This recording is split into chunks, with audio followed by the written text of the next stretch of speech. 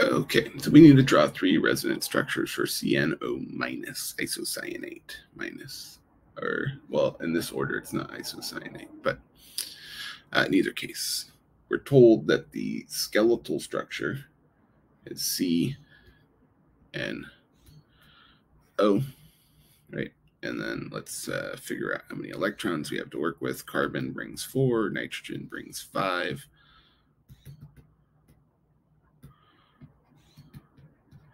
Oxygen brings six, and our negative charge brings one. That's a total of 16 electrons. Great. Um, yeah, so let's uh,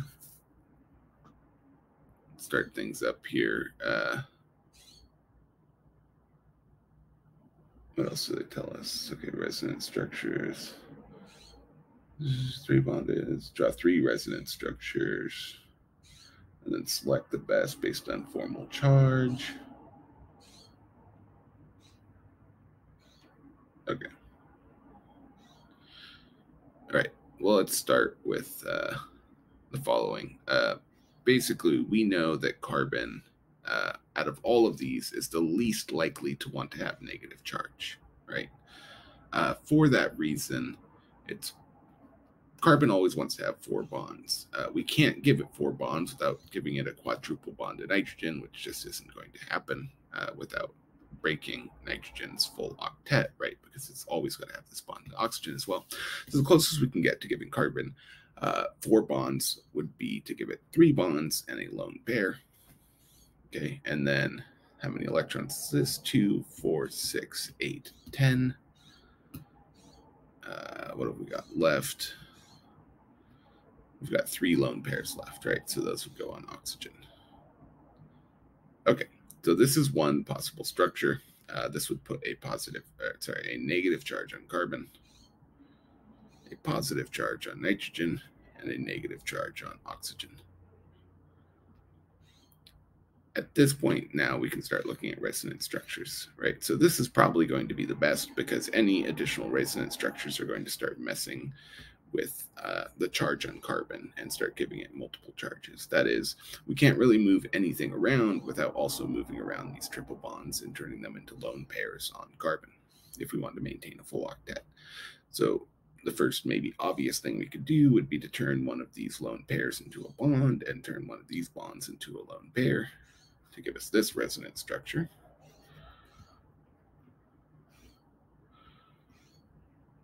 Now all of a sudden carbon's got uh, two lone pairs and a double negative charge.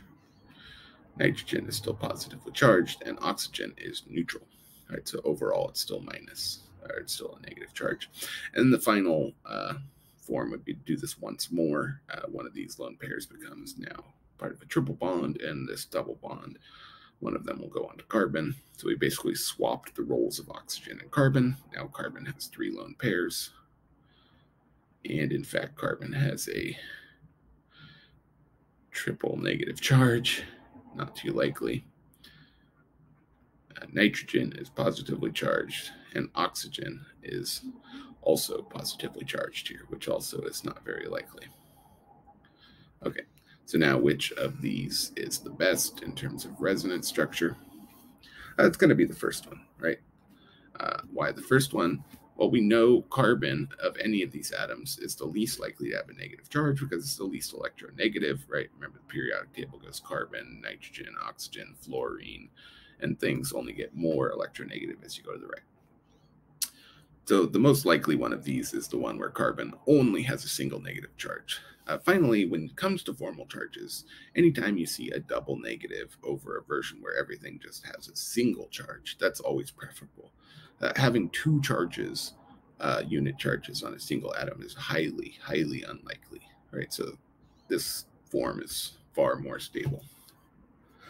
Okay, now let's select the statement from the multiple choices that is true about the important or best resonance structure. Let's see, the leftmost bond between carbon and nitrogen is triple bond. That's true. The number of non-bonding pairs of electrons on the rightmost oxygen atom is two. That's false. There should be three lone pairs. Okay. The rightmost bond between nitrogen and oxygen is a double bond. No, it's a single bond.